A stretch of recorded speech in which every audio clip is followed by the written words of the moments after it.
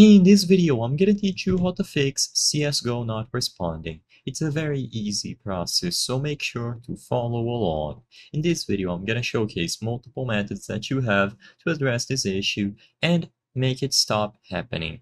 So, first, what I recommend is that you go over to a web browser and you find the drivers for your specific graphics card. To figure out which GPU you have, right click the Windows icon, go over to Device Manager, and inside of the Device Manager under Display Adapters, you will find your specific graphics card. Now, if you have something like Intel Integrated Graphics, or if you don't have a dedicated GPU, that could be the reason on why CS2 is not working. It is an intensive game game and you basically need a graphics card to be able to get inside of it. So if you see something like Intel Integrated Graphics, to my knowledge, there isn't much that you will be able to do to fix this. But if you have something from NVIDIA, which most people will have, or from AMD, which is my case, you will be able to visit the respective websites and download the drivers. So look for NVIDIA drivers on Google, or go to the NVIDIA website and select the option over here, and look for AMD drivers on Google and arrive here. Now, you will be able to choose your specific GPU. So like I said, most people are going to have something along the lines of NVIDIA, GeForce, RTX, something. So just choose from this list here and you will be able to download the appropriate drivers. The same thing can be done for AMD. So just look at your specific model, usually AMD, Radeon, and then the series and the model.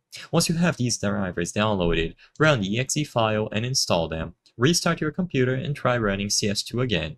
Now, if it still doesn't work and you are still getting crashes or the game is not responding, the other method that I would recommend is that you go over to your Steam library and in here you find Counter-Strike 2.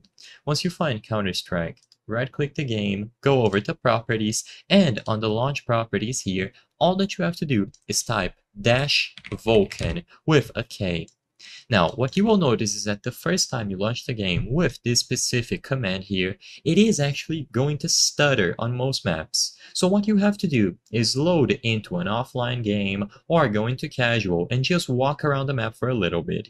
Basically, by including Vulkan here, the shader cache is going to be rebuilt, meaning that it is a process that happens on the background while you play, and because of that process, you will get stutters. However, after all of the shade cache for all the maps is done, being built and downloaded and stored locally, then the stutters will go away, and usually Vulkan will help the game run more smoothly with the shader cache that it built, so just leave it here and you will be good to go.